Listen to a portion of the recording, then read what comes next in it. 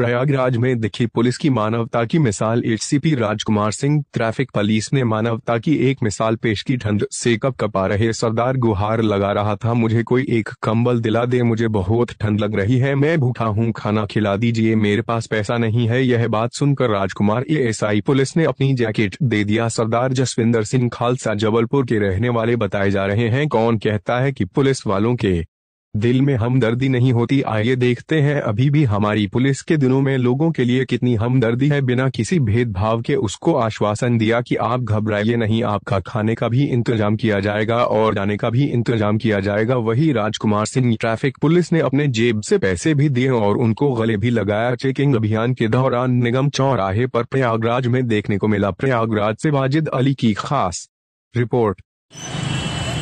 मेरे सामने यहाँ पे सरदार जी खड़े हुए हैं। ये जबलपुर के रहने वाले हैं जो अपना ये बता रहे हैं कि मैं जबलपुर का रहने वाला हूँ। यहाँ पर जो लोगों से पैसे मांग रहे थे कि मुझको कुछ नहीं चाहिए आप के कम्बल दिला दीजिए।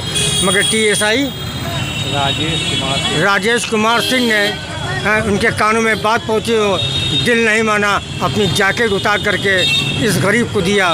मानवतों कि अभी भी मिसाल पेश करने वाले हमारे उत्तर प्रदेश की सिपाही अभी ज़िंदा हैं। देखिए किस तरीके से ये टुटूर रहे थे अब ये उनको थोड़ी राहत मिली है। और पूछा जा रहा है कि आपने खाना खाया या नहीं खाया? तो उन्होंने बताया खाना नहीं खाया मुझे भूख लगी है। उसका भी इंतज़ाम किया जा रहा है और उनको पैसे भी दिए गए हैं। सर ये आप कहाँ से आए हैं?